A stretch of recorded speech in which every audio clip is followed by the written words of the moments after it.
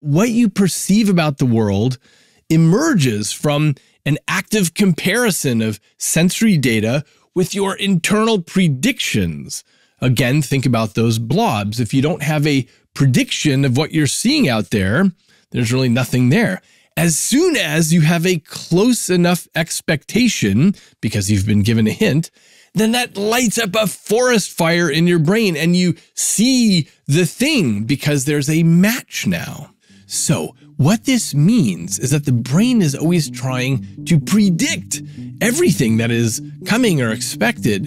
And here's one way that the brain helps itself along. Whenever it sends out a signal to your body, like move your head or move your arm, it also sends copies of that command internally all around the brain. These are called efference copies.